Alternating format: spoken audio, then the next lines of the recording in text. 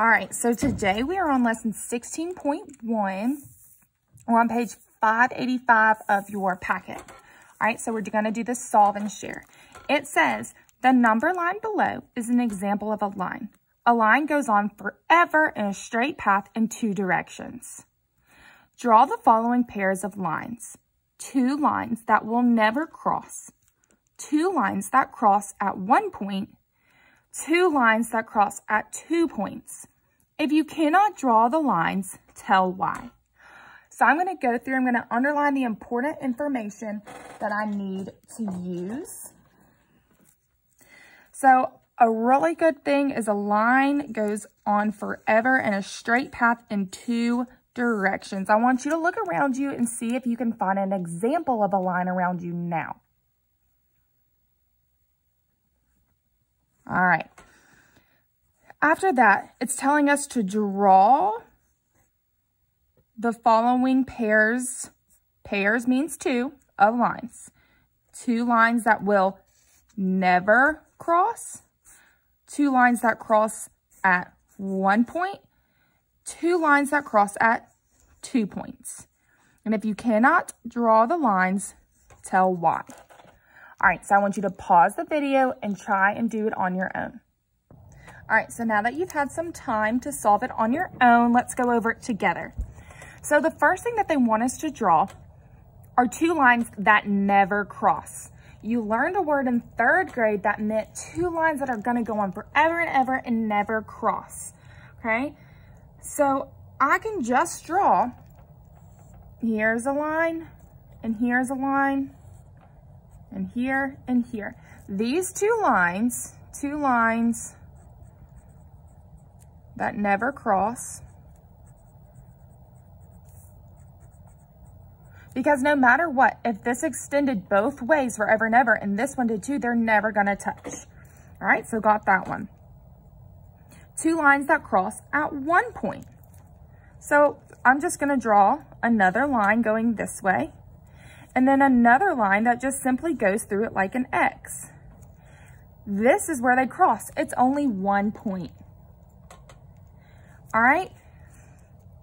And then two lines that cross at two points. You can't do that. You cannot draw lines that cross at two points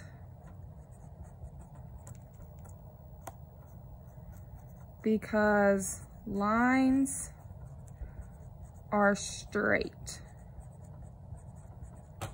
And if you have a hard time imagining that, let's take two pins. These pins are straight.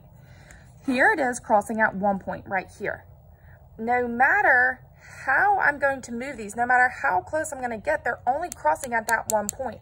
I can't bend this pin to make it cross at more than one point okay, no matter what I do. I can try it down here, I can try it up here, but it's still only hitting one point across, okay? Right there in the middle, okay? I can't get it to cross, okay? They're not on top of each other, they just have to cross. All right, so we're gonna go down to the look back. Terry said the lines shown intersect at three points. Is Terry correct? So let's look at this. Well, let's think back to what a line is. Up here, a line goes on forever in a straight path. Straight is your key word. This line is straight, but this line is curvy. So Terry is not right because lines are straight and they do not have these curves in them. Terry is incorrect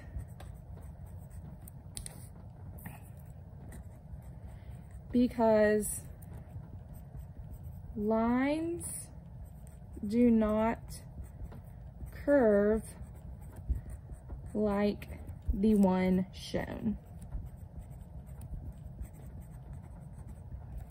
All right, that, and we can see that. They can go on this way or this way, and they're never gonna touch each other. all right? I like to look at these L's right here because those are parallel in there. So that's a good way to remember what parallel means. Those two L's are never gonna touch each other. Intersecting lines pass through the same point. So here they intersect right there. And perpendicular lines are lines that intersect to form right angles. So we can see, we know that this square represents our 90 degrees or our right angle.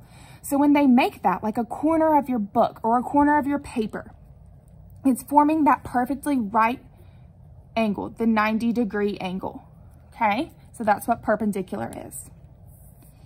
Perpendicular lines are also intersecting lines, but intersecting lines are not parallel lines. So these, this perpendicular line, they intersect right there.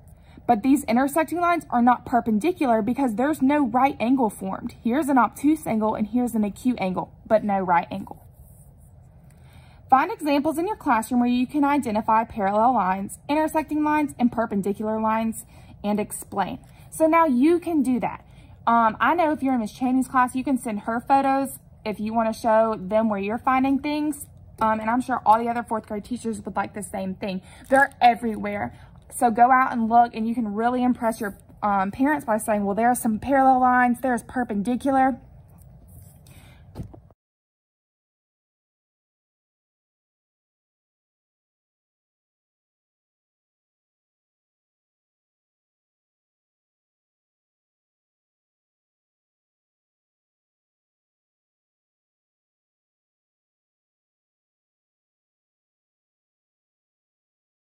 All right, so on page 588, I'm only going to go over a few of them, but you're supposed to try all of them and then check your own answers.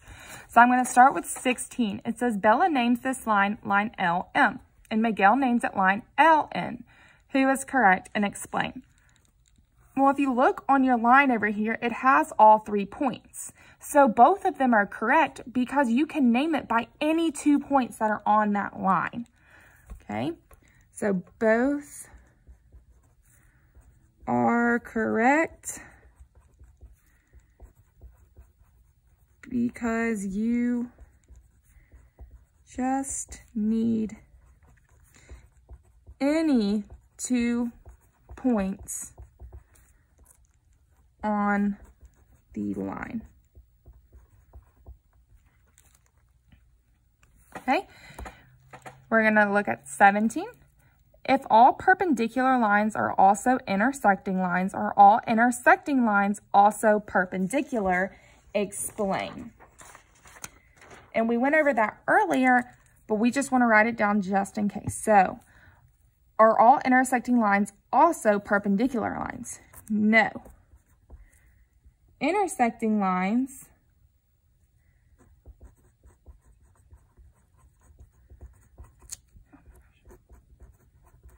don't always form right angles. Oops, that was angel. Angles. But perpendicular half to intersect.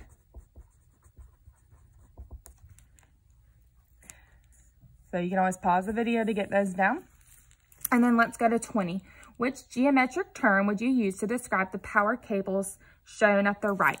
So your power cables are this and this. So would they be perpendicular that form 90 degrees, parallel that never touch, intersecting, or points? And it would be parallel. So again, go back to these two and go over them and go check back over your work.